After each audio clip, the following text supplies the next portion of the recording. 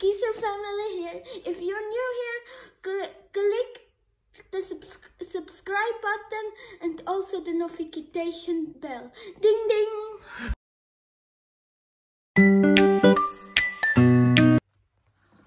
Hi guys! Uh, for today's video guys, mag shopping haul tayo. Ayan, this is Christmas uh, decor shopping haul. So guys, umpisahan na natin ito yung sa mga Christmas decoration natin. At uh, may na-shopping ako doon sa, ito ay sa Lidl. Christmas light. Ayan. Christmas light sa Lidl. At saka ribbon. And then, ito guys, ang cute. Ang cute niya guys, tingnan nyo. This is for me. Kay Laura Blue. Na, ayan, Santa Claus. Ito ay kay Laura. Tig ano na lang to? 8 Swiss franc 95. Rappen. Ito, pareho yung presyo niya. Malaki o mali maliit. Ayan. Actually, ito pang adult to. Itong kay Laura. Walang pang kids eh. Pero kasya naman na sa kanya.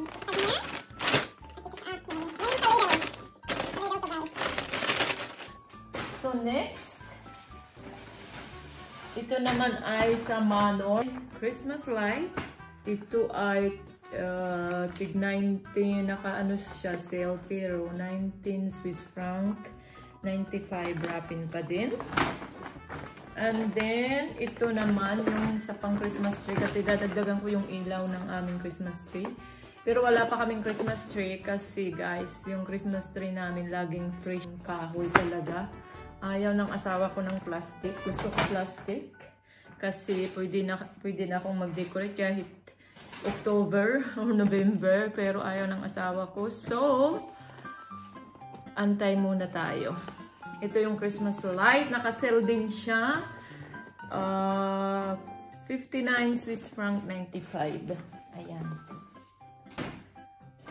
Sa ano to? Sa Manor. At meron pa din akong nabili kahapon.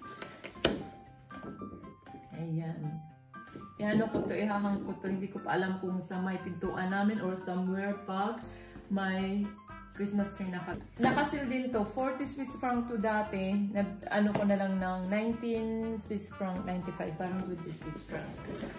Guys, ito naman ay sa Cook City. Nan natin kung anong nabili natin doon. Hi! Ayan guys.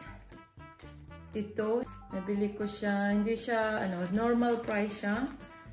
Is 5 Swiss franc 95.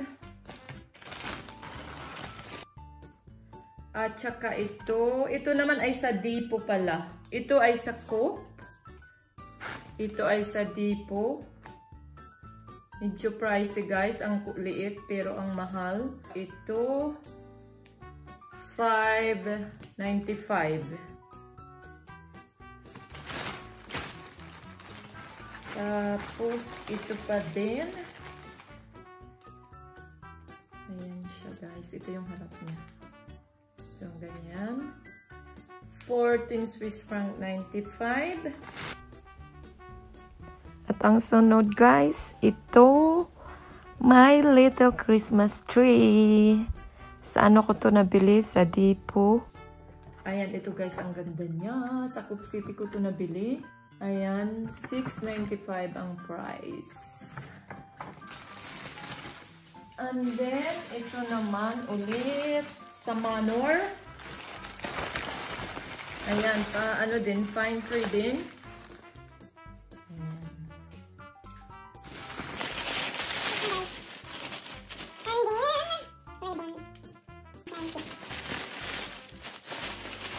Maganda rin mag-shopping guys ng mga Christmas decors pagkatapos ng Christmas kasi halos 50% yung ano yung lahat ng mga Christmas decors. At ito naman doon to sa ano Mall of uh, Switzerland namin na shop. So tingnan natin guys. Gustong gusto ko siya guys sa pillow namin. Ayan, ang lambot. Ulit oh. Ang lambot guys, oh. Napaka ano, fluffy.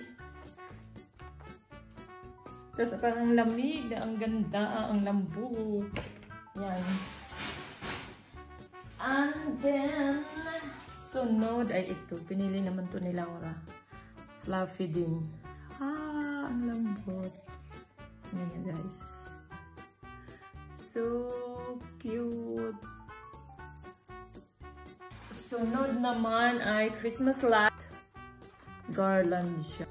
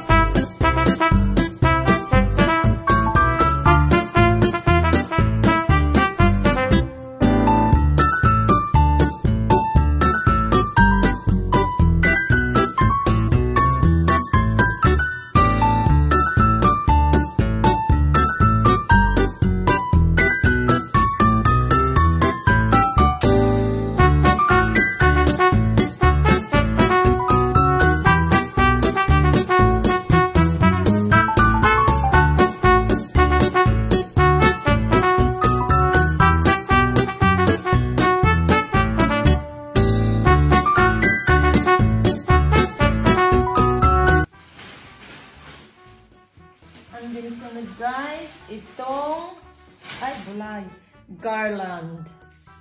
Ayan. This is, ano ba ang price? 16 Swiss franc, 95. Dalawa yung binili ko. Ayan guys, makikita na lang yun, makikita nyo to pag uh, kung saan ko to ilalagay pag nag-decorate na ako. Ayan, dalawa sila. At then, ito, 5.99 Swiss franc. Ayan, Merry Christmas. Ah, ganyan.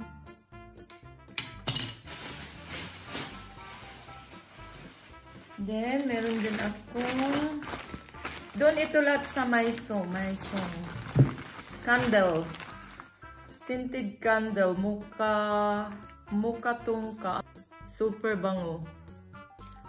Ito ay 13.95 Swiss franc.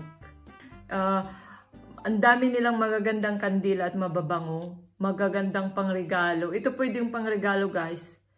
Siguro bibili din ako ng pangregalong ganito. Ang bango niya. Pang ano talaga sa winter. Ang bango. Kaya sulit naman ang price. Tapos meron pa ito. Hindi ko alam ano ba ito. Ah, ito pala yung kay Laura. Ayan. Pinili naman ito ni Laura. Lagyan daw niya ng hot chocolates. Yung takip. Ito ay mura lang. 4.95 Swiss franc. Ayan. Meron pa ba? Wala na. Ayan, yan lang guys ang ating uh, ang ating Christmas uh, shopping haul. At uh, ipapakita ko sa inyo next time pag nag-decorate na ako ng aming flat. At uh, guys, yun lang ang ating vlog for today, ang ating ganap. Kung bago lang kayo sa channel namin, hindi pa kayo nakasubscribe, please subscribe na. At like na din guys.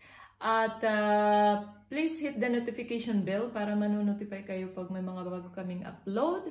And uh, God bless and see you again. Bye-bye guys! Mwah!